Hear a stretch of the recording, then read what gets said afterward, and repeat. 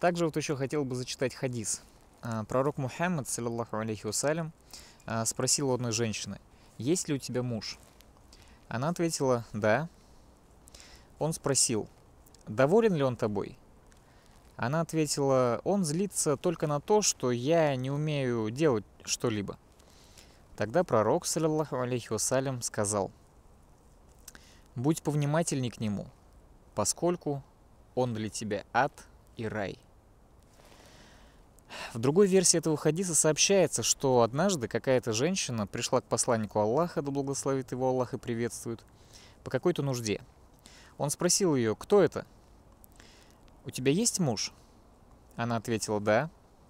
Он вновь спросил «как у тебя с ним?» Она ответила «Э, «делаю для него все, что в моих силах». Посланник Аллаха, да благословит его Аллах и приветствует, сказал на это «Смотри, куда тебе до него? Поистине, он для тебя рай и ад». Вот, субханаллах, на самом деле женщины, да, когда не слушаются мужа, вот не понимают опасность положения, субханала. Но ведь и мамы, которые читают вам никахи э, в мечетях, ну они же традиционно читают перед никахом э, аяты, субханала, в которых призывают бояться Аллаха. Субханала, я все понимаю. Э, люди не идеальны, да, все понятно. Но вы понимаете, чем это может обернуться? чем может обернуться, да, ослушание мужа? Не дай Аллах, конечно. Э, я так же, как и вы, хотел бы, чтобы Аллах не обращал внимания в судный день ни на один из моих грехов и простил мне их все, да? Но вероятность-то такая все равно есть. Что Аллах может наказать, не дай Аллах, не дай Аллах. Сам пророк сказал, что твой муж для тебя это твой ад и твой рай. То есть это же о чем-то говорит. Ну хорошо, там вы там, вам что-то не нравится, да, вы там э, проявили свой гонор, вы не захотели там слушаться, да, вы посчитали себя там умнее него, там, да, не, ну как бы сказать, не захотели переступать через свою гордыню. Ну, субханала, ну немножечко вот из, вот из одной точки, субханала, ну расширьте свое восприятие. Я понимаю, что когда эго захлестывает, субханала, гордыня душит, твое восприятие, оно сужается до одной точки, и ты ничего не видишь уже, кроме себя, субханала, любимый или любимого, да? И ты просто вот гнешь свое и все. Ну, субханала, ну помяни Господа, помяни Аллаха, ну вспомни, Вспомни, что ты мусульманка, что твой муж мусульманин. Вспомни день, когда вам прочитали никах. Какие аяты вам имам читал? Что надо бояться Аллаха, как следует. И что вот пророк сказал, да, что твой муж это твой рай и твой ад. Ну зачем рисковать? По такой логике, Субханалла, да лучше ты вообще замуж не выходила, Субханалла. Ну зачем? Зачем ты рискуешь? Зачем ты ставишь под удар свою вечную жизнь?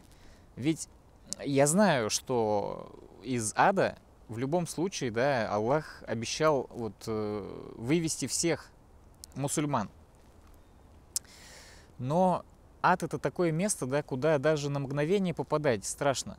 Э, в книге «Рай и ад» я читал такой хадис, что в судный день приведут человека,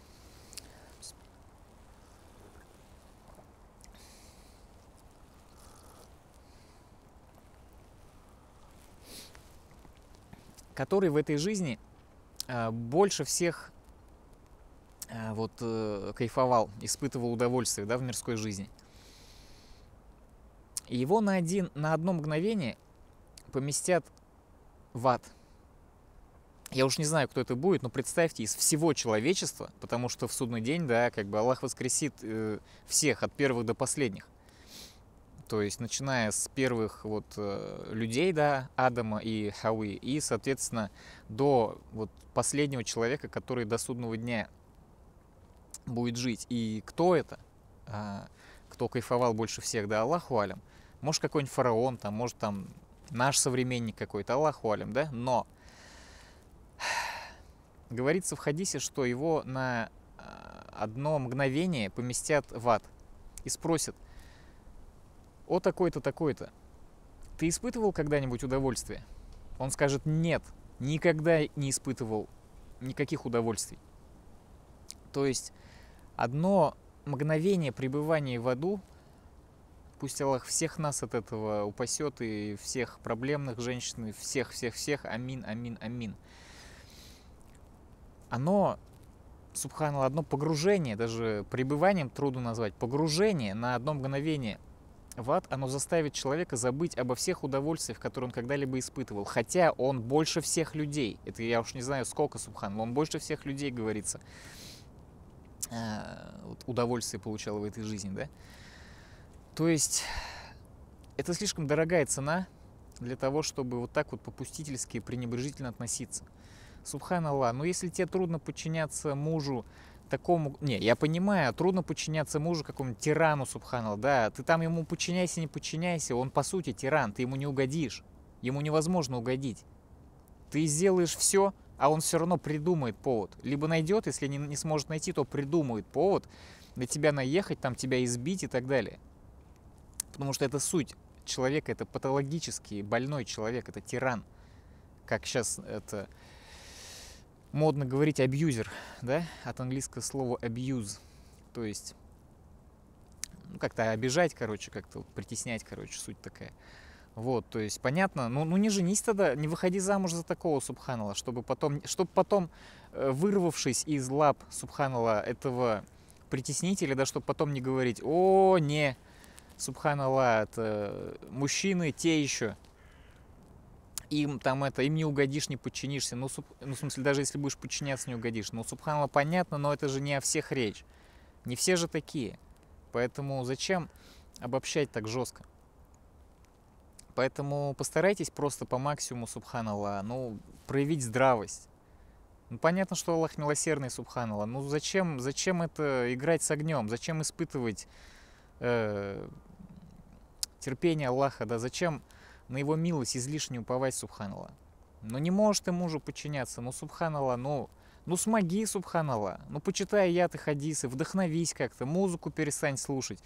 Э, постарайся, Субханала, найти причины, ну, так сказать, поскреби по сусекам, по карманам пошарь, все свои, так сказать, запасы искренности найди ну, надо подчиняться, потому что ты, ты рискуешь, субханала, своей вечной жизнью. Даже пускай временно окей, там, Аллах из ада вытащит грешных мусульман там, да?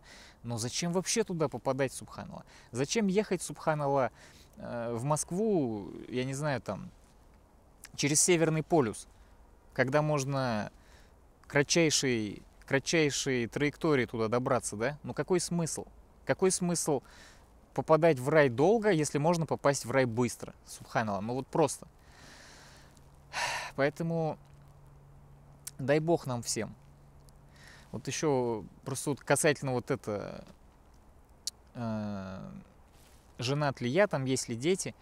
Вы понимаете, просто незнание этой информации, э, не зная эту информацию, вы ничего не теряете. А узнав эту информацию, вы ничего не приобретете.